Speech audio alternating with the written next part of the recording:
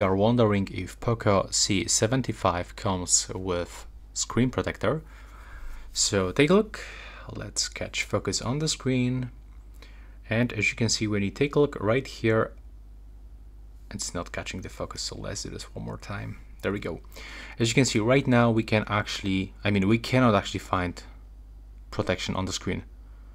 There's like no any cutout next to the camera or for example, uh, right here. So no, this smartphone actually doesn't have the default screen protector.